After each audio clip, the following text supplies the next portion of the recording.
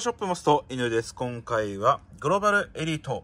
公式のオーランドグラブ、こちらの修理前ですね、アップしていきたいと思います。え当店でご購入していただき、よく使用して、え、いるグラブという形となっております。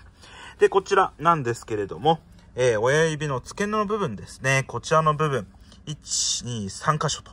えー、破れておりますので、えー、下にですね、当て側しつつ、しっかり、えー、直していきたいなと思います。まあ、全然ですね、えー、こちら、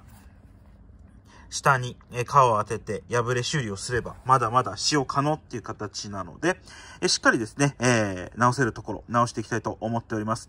でですね、Web 以外のですね、全レース交換、えそして、やはりですね、確認してみると、中、えー、二重加工になっておりまして、えー、当て側のところに、えグリス、プラスゴムのりの方も、え交換していきたいと思います。もちろんですね、えクリーニングとメンテナンスもしつつ、え気持ちよくですね、お使いできる、えグラブに直していきたいと思思います。またですね、出来上がり次第アップしていきたいと思います。ではこちら以上です。ありがとうございました。